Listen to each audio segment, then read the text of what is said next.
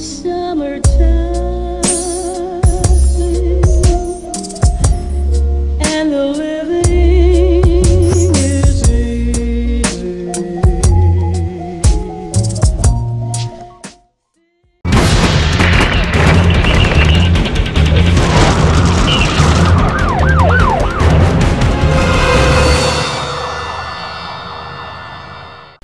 Здравствуйте, это программа «Место происшествия». Меня зовут Алексей Колодкин. Сегодня я и корреспонденты Первого городского канала подготовили для вас обзор событий этого вторника. И вот что вы узнаете в ближайшие 10 минут.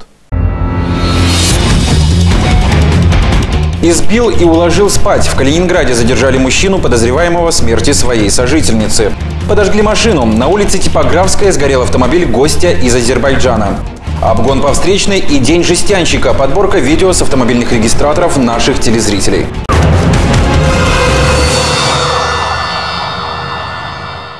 Избил до смерти. Бытовой конфликт на почве алкоголя привел к летальным последствиям. По версии следствия, на улице Ангарской 31-летний мужчина избил свою сожительницу. После этого нетрезвая пара легла спать. На утро женщина была мертва. Поняв, что подруга не подает признаков жизни, подозреваемый сам обратился в полицию. К настоящему времени он задержан. Следствие решает вопрос об избрании в отношении него меры пресечения, связанной с заключением под стражу.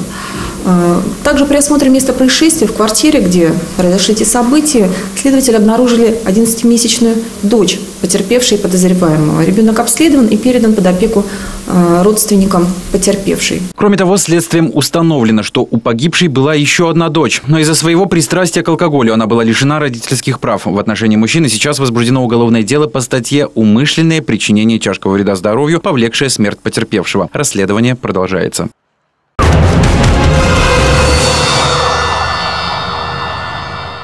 Рано утром 25 февраля жители дома на улице Типографской проснулись от едкого дыма. Прямо под окнами квартир загорелся автомобиль «Мерседес». До приезда пожарной службы жильцы сами пытались потушить огонь. В ход шло все – и тазики, и канистры с водой.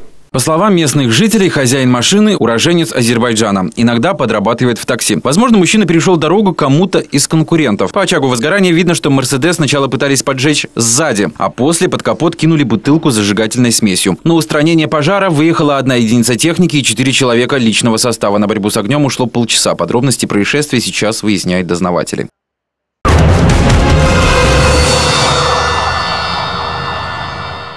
А мы напоминаем, что самые интересные и значимые события, которые мы показывали на этой неделе, вы увидите в итоговом выпуске программы «Место происшествия». Он выходит каждую субботу в 19.20 только на Первом городском. Не пропустите.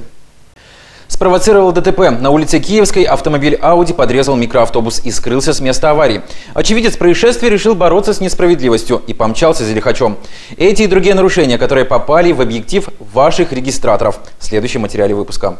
На этой записи уже знакомый нашим телезрителям Митсубиси на мосту на улице Невского. Но, как оказалось, зависший над пропастью автомобиль не единственная жертва гололеда в тот день. Не проехав и 100 метров, автор видео встречает новую аварию.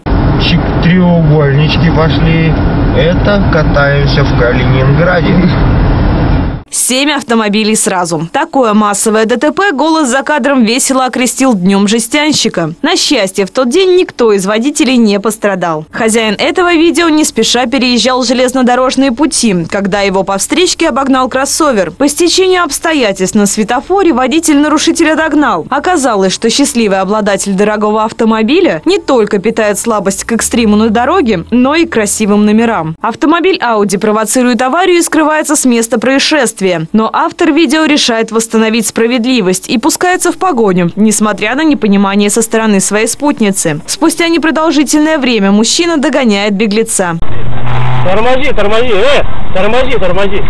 Как заверял всю погоню очевидец, теперь второй водитель будет ездить исключительно на общественном транспорте. Екатерина Степанова специально для места происшествия.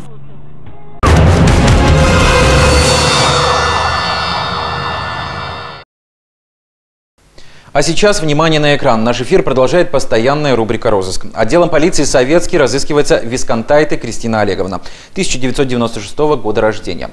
Девушка стала жертвой группы мошенников.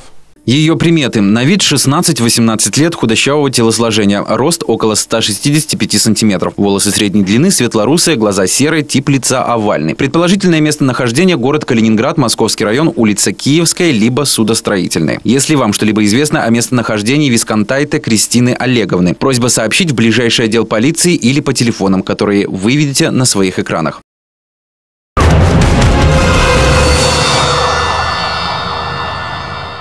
На этом выпуск программы «Место происшествия» подошел к концу. Напоминаю, что все выпуски дублируются на нашем сайте одингородской.ру. Ну а если вы стали свидетелем происшествия или сами попали в беду, звоните к нам в редакцию по телефону 3 пятерки 085. Мы постараемся вам помочь. Ну а я с вами прощаюсь. Будьте бдительны на дорогах.